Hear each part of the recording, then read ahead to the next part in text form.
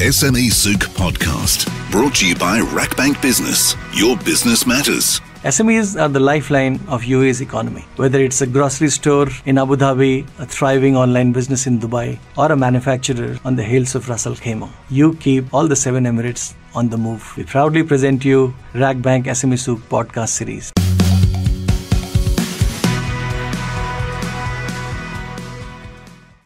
You're listening to the SME Souk podcast. I'm Brandy Scott, and for today's episode, we're going to be speaking to the CEO of RAKBANK, Raheel Ahmed. Raheel, thanks for joining us. It's a pleasure to be with you, Brandy. And I'm really looking forward to getting a bigger picture view from you, the macro view, if you like, using your experience and your day to day visibility of what's going on in the economy to look at where the, the opportunities are for the SME sector. Let's start exactly there where is the UAE economy at the moment as you see it? So, the UAE economy is doing very well. It grew very fast last year. It continues to grow very well this year as well. The oil GDP's growth has slowed down a little bit, but the non oil GDP, which is naturally very important for SMEs, is growing in a pretty rapid fashion. And we see this trend continuing into 2024 as well. What does that mean for the small and medium business? Where do they fit into that? So, both globally and in the UAE, the SMEs play a really big contribution to the economy. Uh, so, if you think about it, there are almost 550,000 SME companies in the UAE by last count. The vision is to get them to a million by 2030. Uh, from the data that we have, they contribute almost 80% of the private sector companies and almost 84% of the private sector workforce. So, a big, a big impact of SMEs in the UAE local economy. Well, you mentioned the government's targets there. From just what you see in the bank, the number of new mm-hmm. accounts that are being opened in the business space, for example, what's your gut feel about the rate at which they're increasing at the moment? Yeah. So I think post pandemic, UAE has become that the growth of SMEs in the UAE has really accelerated. And we are seeing companies, entrepreneurs, uh, people coming from all over the world because UAE is becoming much more business friendly. It always was, but it's even better now. And, uh, and some of the rules, regulations, laws, and the enablement that the government is facilitating uh, are, uh, are, are like a magnet for SMEs and entrepreneurs to come and work from here. So, are you seeing an increase in the number of new accounts that are being opened for smaller businesses? Absolutely, we are. So, we are seeing a 20 to 30 percent growth in our business. But if you talk to the licensing authorities, our partners as RAKEZ, they are also seeing similar number of growth in the number of companies opening in the in the licensing authorities and trade zones as well. What does that mean for employment opportunities here in the UAE? So I think uh, it does create opportunities. Uh, depends on what type of businesses they are coming into. Um, the three big ones that we see are services, tech, and e-commerce. Uh, so naturally, tech and e-commerce uh, they do create employment, but perhaps not as much. But clearly, the services sector uh, creates a lot more employment opportunities in the country. So as you are seeing globally as well, um, right now. Um, attracting skills and holding on to them is actually a challenge both for big banks and SMEs alike because there is not enough skill in the market in some areas. Can we dig into that trend a little bit more? Because that's really interesting. The areas in which you see new businesses being sure. created and why. Yeah. So as I said, the, the three mega trends that we are seeing in the from our data in the UAE, one is services, right? So UAE was always a very good trading hub for people to use UAE as a trading hub. But because of the growth in the local population, the local economy, tourism, more residents coming in the country, the real estate uh, developing, we're seeing a lot more SMEs getting into the services sector uh, to contribute to the local economy. So around 50 to 60 percent of new accounts, at least that we see, are in the local service sector.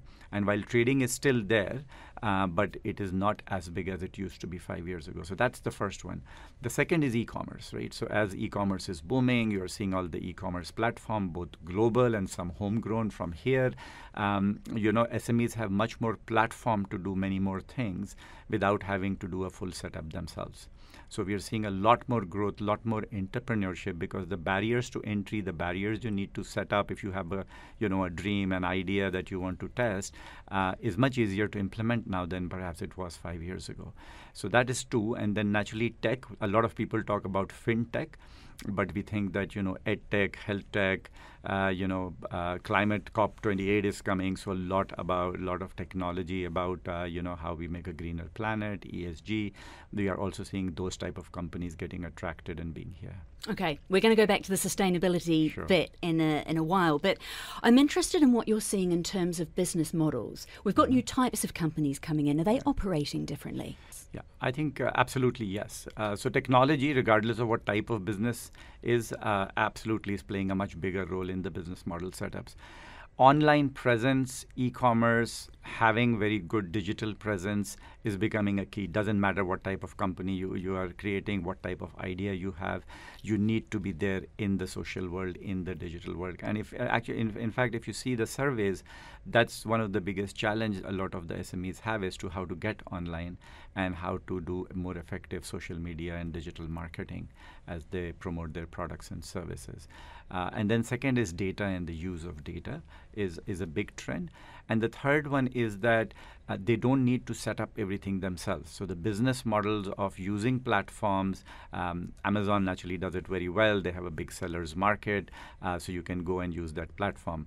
Uh, but there are many, many others here, homegrown as well as big ones, where companies can go and set up without having to have the whole infrastructure around them themselves, and that enables more entrepreneurship. Where are the risks that come with that? I'm thinking cyber security here. If you are online, more of your operations, more of your back end is Yeah. online. What does that mean? Yeah, so I think you've, you've abso- you're absolutely right. So, so one of the top risks I think for SMEs right now is cybersecurity fraud, uh, because with innovation, with digitization, the fraudsters also invest a lot of money in that, right? So, so it is it is a big issue globally in the UAE, and banks like us have a big role to play in the education, the awareness, the prevention of that from happening. But I think the SMEs themselves have to invest a lot in that. So that's risk number one. The risk number two is naturally we are in a high inflation, high interest rate environment. So it's very easy to get carried away and over leverage yourself and borrow more than you can afford. So cash management, because you know many entrepreneurs have great ideas, but how you manage your cash, how you manage your inflows versus your outflows, can you price your product to make sure that you know the the, the cost of ingredients that you need to then make it uh, make it profitable uh, is is in your command. Uh, that I think is another risk that is emerging because we have inflation, because we have high, high oil prices, and because we have high interest rates. So they have to be very careful about not over leveraging themselves. Well, while we're talking logistics, let's go through some of the, the biggest challenges that SMEs traditionally face and what's happening to them here. Let's start with the cost of entry, the barriers to entry. How do you see that evolving at the moment? So I think the barriers to entry are getting less and less, right? And some of it is driven by the very good fiscal policies and the laws and regulations in the country. Uh, you know, so so so the enablement now many many businesses you can have 100% ownership in in on onshore as well, which was not the case a few years ago. Um, the enablement that the government provides, uh, both in terms of facilitation, in terms of ease of uh, ease of company setup, has has significantly reduced. Um, so those barriers are going away. Naturally, we are in a world of much higher compliance and AML and safety from a banking perspective. So I do know that banking accounts still continue to be sometimes a pain point, although it is becoming less and less. The Central Bank of UAE has now come up with the whole market SME conduct framework, a customer protection framework, which also makes banking easier for uh, for companies. So my sense is, from that perspective, things have become much easier. As I said to you, because we have so many platforms that the businesses can hook on to them. From that perspective, also the you know the, the the the amount of things you have to think about before you can launch a company has become much less because you can go and switch on to a platform uh, which can provide a lot of services for you. Let's talk about that banking relationship. I mean, you obviously have a lot of small and medium customers. It's one of the things that RAKBANK is known for, being an SME friendly bank. How do banks use that to their advantage? How do you take what a bank is offering and really leverage it? Yeah. So I think uh, at the heart of what at least we are trying to do, and I think it's true for other banks as well, is you become a partner. You you shift from a banker to a partner, and you become involved and more entrenched into the success of the entrepreneur and the company. And how do you do that, right? One is you make banking very seamless and very easy. But then you go beyond banking, right? So yes, we do digital transactions and making ease of cash for more, you know, ease of payments and providing payment facilities. But how do you go beyond banking, you know, to create an ecosystem where all the things related to money can be done easily by your customers. So whether it's payments, whether it's invoicing, whether it's payroll, you know, paying money to your employees, how do you start integrating those services seamlessly into banking becomes important. The second thing I would say, and this comes out very uh, heavily in the survey, is uh, surveys also is that uh, SMEs still look for expertise and advice. Right, so it's not about just the pain of the banking relationship. It's also give me expertise, give me advice. Not everybody knows how to build a good credit history. Now we have credit bureaus, right? So your access to finance is very dependent on how you manage your cash flows. Do can we help you to remind when your payments are due so that your check doesn't get bounced or your payment doesn't get bounced? Because if that happens, you your credit bureau gets records it now. So the bank has to play a much more partner role. It has to think beyond banking and help you to facilitate money management in the broadest sense and I think we have to be there for our customers with uh, with expertise related to their business segments, as opposed to having a one-size uh, banking relationship. You mentioned cash flow earlier, mm. and I mean that's one of the things that comes up time and time again is something that can sink yeah. small companies. Mm-hmm. Just mm-hmm. Having the orders, maybe having everything in place, but just not having seen the cash to to see them through. How can you help with that, and how can they prevent that becoming a problem? Yeah, I think a lot of it, and you know, we, we, we've discussed that VAT is coming and tax is coming, and maybe we'll spend a couple of minutes on that separately. But uh, the discipline of cash flow management, the banks can help, right? Uh, if, if we know how much your in, uh, you know, typical uh, incoming uh, revenue is and how much is going to go out, we can help create a forecast for you. We can alert you to what payments you see recurring at what times of the month. It's not that much different to personal financing sometimes in small companies as well.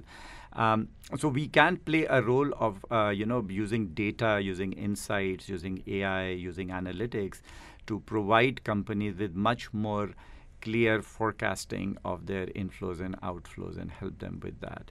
Uh, and that's why I think banks have to evolve in terms of the type of services they're providing to their customers. Yeah, but we also need to communicate with you. I mean, you mentioned advice. Mm-hmm. At what stage should someone come to you and, and flag up a, a worry, a potential problem, or ask for advice?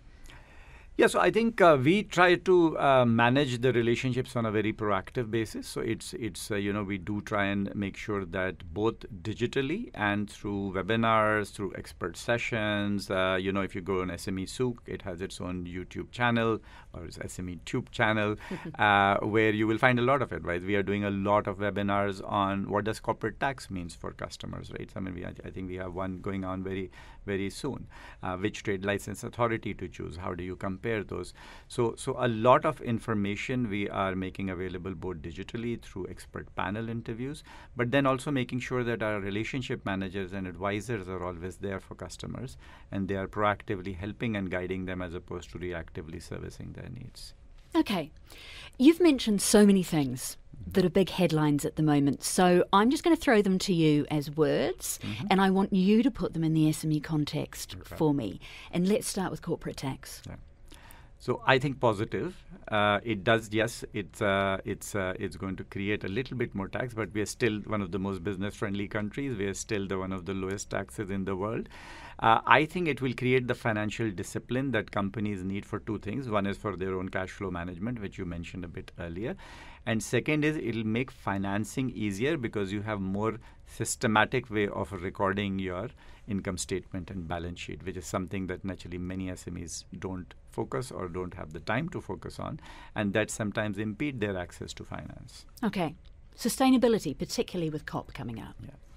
I think SMEs have a big role to play in it in two ways. One is naturally their products and services that could help us to get to a greener planet, but also using sustainability as a USP for the products and services they create because uh, many things are getting commoditized, right?